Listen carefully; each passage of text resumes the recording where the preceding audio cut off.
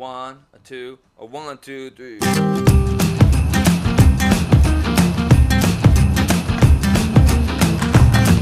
Всем привет, меня зовут Юля, и я решила провести небольшой эксперимент. У меня впереди очень долгая дорога, явно больше 10 часов, и, естественно, со мной в пути книга, впечатлениями от которой я буду делиться прямо по ходу прочтения.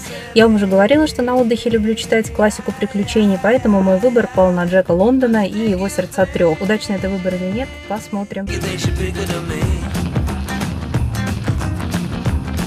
Книга начинается с довольно интересного вступления, где автор объясняет нам, почему этот роман для него особенный. Во-первых, он 50-й, юбилейный в творчестве Джека Лондона, но во-вторых, он довольно сильно отличается от всего, что автор создавал ранее.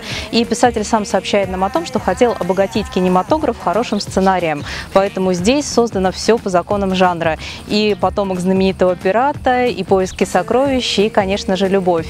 И сразу по первому впечатлению могу сказать, что книга мне очень нравится, интересная, интригующая интригующая завязка и очень легко читается.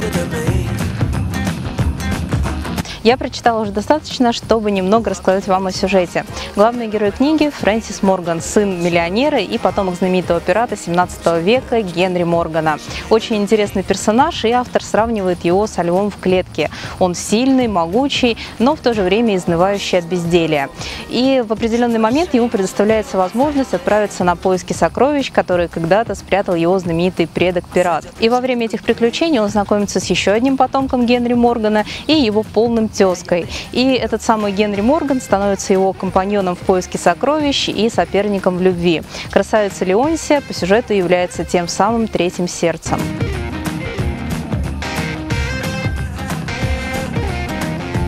Приключения, поиски сокровищ. Книга чем-то неуловимо напоминает мне Индиану Джонса. Наверное, это происходит во многом благодаря антуражу. Действие происходит в Панаме, поиски сокровищ индейцев Майя и неуловимый дух приключений. Написано очень динамично, с неброским, но удачным юмором. И теперь мне еще хочется посмотреть старую советскую экранизацию. Выбором книги в дорогу я очень довольна. Однозначно здесь все хорошо закончится. И поэтому я смело вам советую эту книгу. Ну и на этом у меня все. Увидимся с вами совсем скоро. Пока! When she comes to bed, man, she looks so.